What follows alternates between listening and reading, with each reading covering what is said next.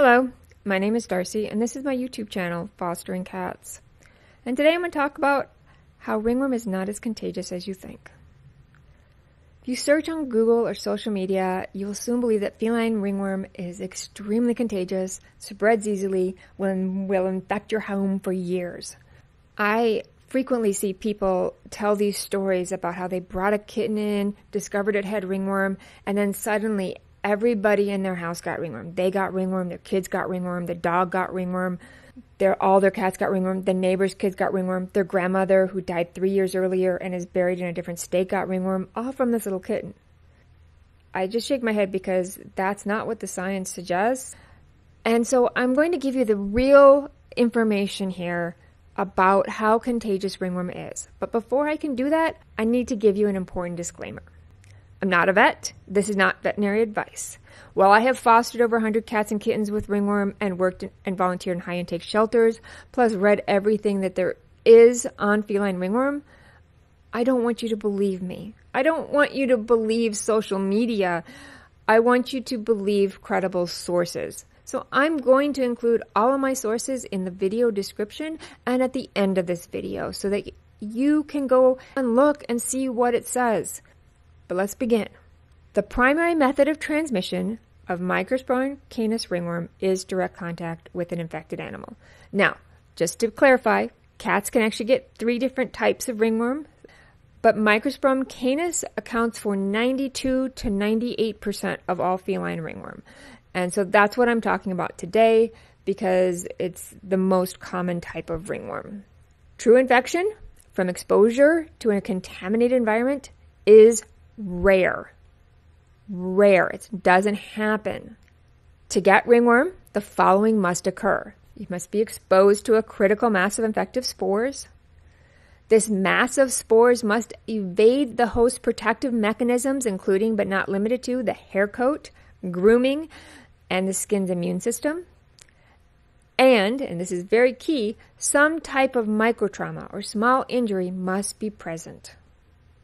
So, what is a microtrauma? Sometimes I see this referred to as a microabrasion, but it's basically just these tiny cuts that you might not see on your skin, and they can be caused by a variety of things, such as ectoparasites like fleas and ear mites, trauma from bites or scratches, matted hair, shaving, maceration of the skin from high humidity, scruffing with leather gloves, poor husbandry practices, just to name a few. But the importance of microtrauma in developing ringworm was shown in an experimental infection study done on people. Woods lamp positive infective Microsporum canis hairs were placed on the scalp, but ringworm did not develop unless the application was associated with concurrent microtrauma. In that case, it was gently rubbing with the thumb. So, contact with the contaminated environment alone in the absence of concurrent Microtrauma is an exceedingly rare source of infection in both people and animals. And in fact, there's only been like one proven case. And in that case, it was a young boy who went into a car that had transported a bunch of cats with ringworm, and he got ringworm from the car. Fomite transmission has only been documented when there is also microtrauma, Environmental contamination can result in a cat having a positive culture for ringworm, but not actually having ringworm. So, what do we mean when we talk about fomite transmission of ringworm? Fomite transmission is when an inanimate object transfers an infected material between animals. Now, this type of transmission is more likely when the fomite causes microtrauma. Fomites that might cause microtrauma include clipper blades, grooming tools, collars, and leather gloves. Studies have shown that it is difficult, if not impossible, for people and pets to get ringworm from contaminated vet clinics, exam rooms, and homes. So, just to kind of summarize, what besides direct contact might spread ringworm?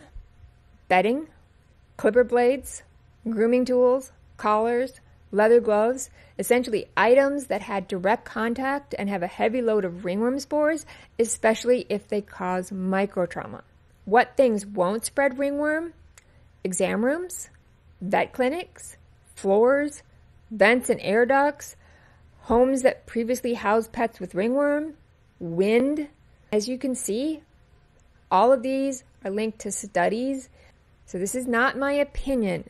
This is what the science has proven. Now, I do need to clarify that exposure from a contaminated environment can be a risk factor for transmission if the patient is debilitated, has chronic skin issues, and or has any inflammatory skin disease. I can't really go into any more detail on that because I'm not a dermatologist either. If you have a skin condition, talk to your doctor or your dermatologist about your possibility of getting ringworm. Now, I know what you want to know.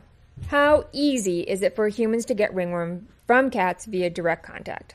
Unfortunately, there's so many uh, factors to all of this that it's it, almost impossible to determine or to give you a good estimate. But remember, without microtrauma, a person will not get ringworm. Now, good kind of indicator athlete's foot and jock itch are both types of ringworm. So if you're somebody who frequently gets athlete's foot, then you're more likely to get ringworm from a cat.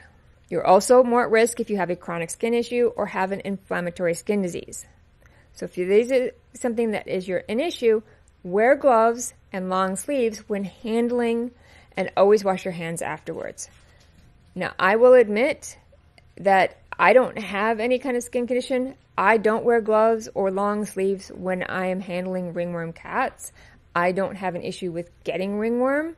I do wash my hands frequently, so I don't do that, but that's a good advice if you are concerned. And keep in mind that if you do get ringworm, that in humans, ringworm stops being contagious 48 hours after treatment begins, and treatment can be purchased over the counter. Keep the spot covered uh, for the first 48 hours to prevent spread, and within 48 hours, it's no longer contagious. Now, what I want you to understand, and this is the, probably the most important thing, getting a ringworm cat to stop being contagious is easy and quick. Proper cleaning plus twice weekly whole body topical treatment resulted in homes being free of infective material within one week of starting treatment and remaining so throughout the study. Lime sulfur and enilconazole are preferred as these products have residual activity. However, miconazole plus chlorhexidine ketoconazole plus chlorhexidine, or climbazole plus chlorhexidine shampoos are alternatives. Enilconazole is not available in the US, FYI. Topical therapy must be done twice weekly from time of diagnosis until cured. And note, we're not talking about creams, sprays, all of the topical spot treatments you guys like to do. That doesn't get a cat to be stop being contagious. So if you're doing that, you got to consider the cat to still be contagious. Now, I also want to briefly cover cleaning. I will be doing a video all about cleaning, but just to give you an idea of what they mean when they're talking about cleaning. So the steps in cleaning. Mechanically remove debris. Vacuum or the Swiffers are great at collecting hair.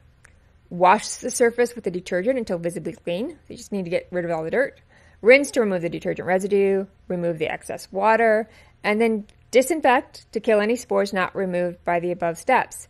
Now you can use an over-the-counter bathroom disinfectant labeled as effective against trichophyton species, like Lysol. Just to clarify, over-the-counter bathroom disinfectants, including Lysol, do not kill things like panleukopenia, but they do kill ringworm. And for effective cleaning, remove debris and hair daily, disinfect twice a week. The purpose of cleaning is to minimize fomite carriage on the hair coat, which can prolong treatment because it interferes with determination of cure. What that means, the environment is contaminated, you're going to get cultures that are positive, even though the cat is cured of the ringworm. And so, in order to get a good negative culture, which is used to determine cure, you need to make sure that the environment is clean from all uh, spores. And that's it. That's the brief summary of all this information. But if you doubt anything I said here, this is where I got the information, and you go back and look, and I will have put up one of these little codes to indicate this is the sources. If there's no code, it's because it either was mentioned in all of these sources, or it's because I basically it's just kind of general common knowledge and didn't feel like it needed to be sourced. You can always hit me up and I'll tell you where I got it from, but it was generally things I didn't feel like needed to be sourced. Thank you for watching my video. If you liked it, please give it a thumbs up, consider subscribing. both of these things help get this video in front of more people. If you have a topic you'd like me to cover, put it in the comments. You can also reach out to me. Uh, you can find me on my website, fosteringcats.com. I have both a Facebook group and a Facebook page titled Ringworm Cats and Kittens. Otherwise, I hope you have a joyous day.